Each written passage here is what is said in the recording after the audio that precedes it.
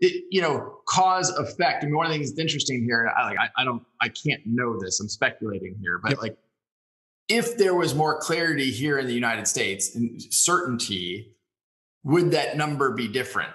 I, I don't know. Uh, and certainly, one dynamic is we're solving a cross-border payments problem, which is more pain for smaller economies because you know a lot of banks, a lot of financial companies here in the United States, the percentage of business they do that's